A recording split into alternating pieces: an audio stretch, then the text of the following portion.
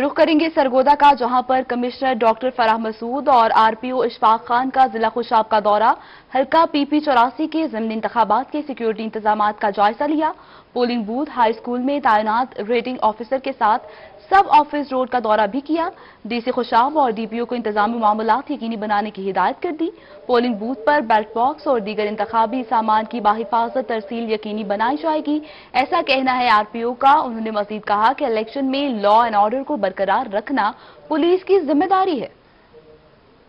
आपको बताएँ कि डीपीओ खुशाब की जानब से ये फैसला किया गया है। सरगोदा में कमिश्नर डॉक्टर फरा मसूद और आरपीओ इशफाक खान का जिला खुशाब का दौरा। हल्का पीपी चौरासी के जिमनी इंतबात की सिक्योरिटी के इंतज़ाम का जायजा लिया, जबकि पोलिंग बूथ हाई स्कूल में तयनत रिटर्निंग ऑफिसर के सब ऑफ़िस का दौरा भी किया, जबकि डीसी खुशाब और डीपीओ को इंतजामी मामला यकीनी बनाने की हदायत भी जारी कर दी गई है।